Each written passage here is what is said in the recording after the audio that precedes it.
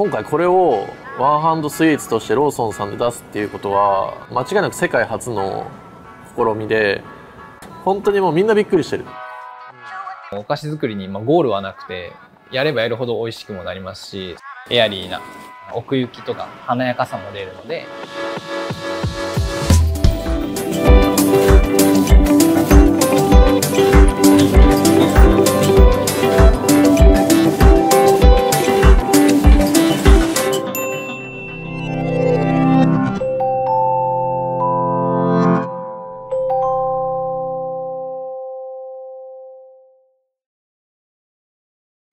僕はその他のシェフと違って親方が誰々ってあんまり言えないんですよね。誰のもとで修行してましたとか。僕にはあんまりなくて。そんなに自信がなくて隣のケーキ屋さんがショートケーキ売ってて僕がショートケーキ売ろうとはやっぱ思わなくて僕がやってるビジネスは根本としてそのお客様喜ばせ業パティシエやってるのもシェフしてるのもお客様喜ばせ業のためにやっていてお客様にもその甘いものを美味しく食べてもらいたいじゃないですか。って考えたら出来たてがいいよねとか。じゃあ出来たてってパフェだよねとか。オーダーごとに組み立てたパフェって美味しいに決まってるよねとか。だったら僕はそっちでやった方がいいなっていうなんで競合を作らない。もう自信ないから。江口シェフって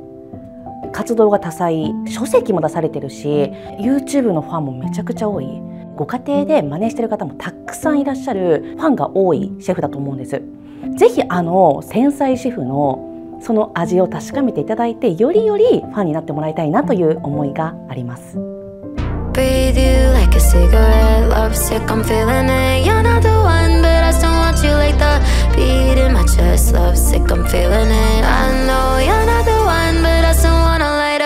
スマートに食べれるっていうのが僕の中のワンハンドスイーツの考え方なんでなんで通常よりもちょっと細長い感じのエクレアを一応今設計はしていてで味に関してはいちごと紅茶の組み合わせってやっぱめちゃくちゃ美味しくていちごとロイヤルミルクティーの組み合わせを僕はちょっと東インド会社のシェフとしてイギリス UK で作ってるんですね。東インド会社の紅茶がすごいもうたっぷり、まあ、通常よりも結構多めに入ってるんですけどそれのカスタードに東インド会社の紅茶を使ったチョコレート、まあ、生チョコみたいなちょっと味が濃くなってるのを入れていちごの煮込んだジャムですね。シュー生地の蓋の部分の生地もあってさらに紅茶で見た目にもいちごいいですね。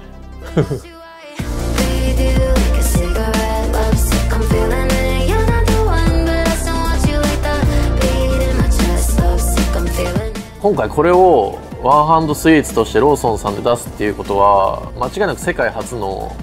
試みで本当にもうみんなびっくりしてる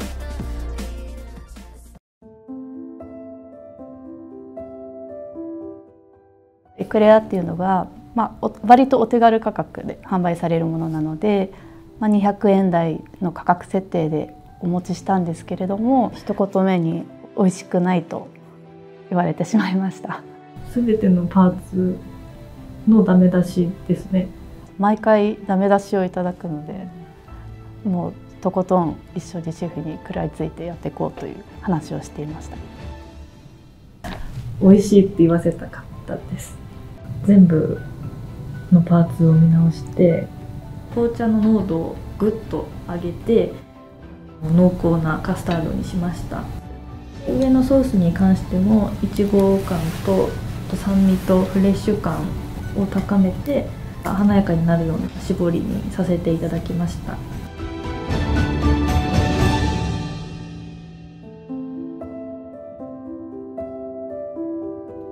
うんうん。あ味美味しいと思います？よ、うん、担当者さんもすごい頑張ってくださって製造ラインに乗ったものと楽しみにしてますけどね。はい。いちごと紅茶のマリアージュを考えた時にやっぱそういったこう歴史的観点も含めて皆さんに食べてもらうっていうのは、まあ大変意義のある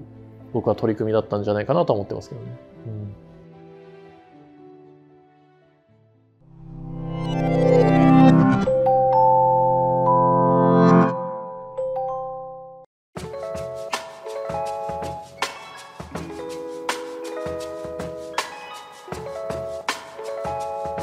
お菓子作りにまゴールはなくてやればやるほど美味しくもなりますし、まあ、ある程度の分は誰でも作れると。そこからのこの一歩二歩違うところっていうのが面白いところで追求する気持ちだとか少しでも美味しくなるようにっていうところの試行錯誤みたいなところは大事にしてますね。割と自信家なのであの 味はもう自分が美味しいと思っているもの香りがすごく大事にしていてあと食感。自分がとにかく美味しいと思うものを生み続けて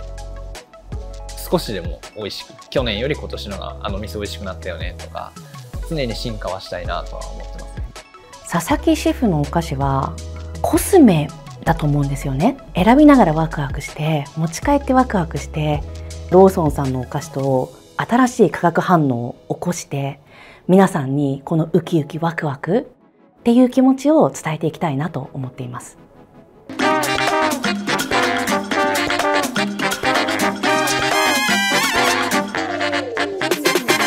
コラボっていうのをこなしたことはない。コンビニスイーツっていうものをやったことがない。自分のキャリア的にもあのチャレンジしてみようという気持ちが受けようと思ったきっかけです。片手で食べられるスティック状のものかなっていうところから入ってワンハンドで食べられるようにスタイルチェンジしたようなもの。ミルフィーユ誰も知ってますしまあもちろん美味しいですしでもちょっとスティック状に作れそうだなっていうところからスタートしますすごくシンプルなお菓子なのでこのヒュータージュっていうパイ生地のバターの香りだとか中に使ってる、えっと、カスタードクリームの卵のコクだとか下にいちごのコンフィチュールってジャムが入ってるんですけどもそこからはやっぱあのフレッシュないちごの香りだとかエアリーなあ奥行きとかそういう華やかさも出るので。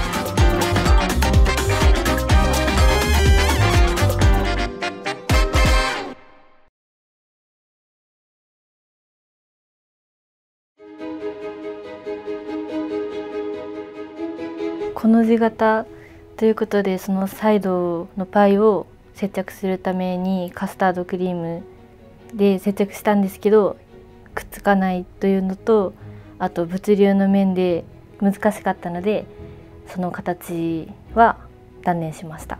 最初はタルトで意見を出したんですよね。上がってきたものがすごく白焼けでで工場の仕組みだと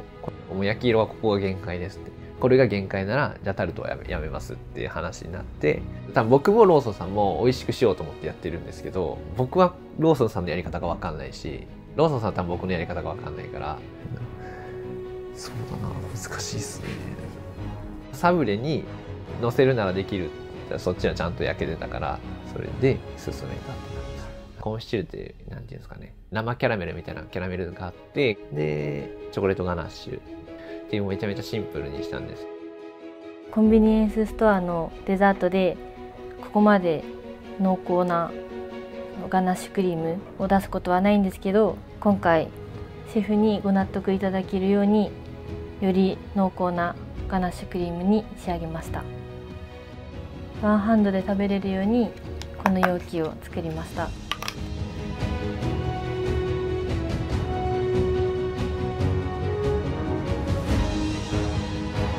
僕がやっぱお店で作ってるお菓子なんかはなんか特別な時だったりだとか幸せを提供したいと思ってやっぱ作ってるんですけどちょっとあの美味しいな行こうってなってくれればいいかなとは思ってます。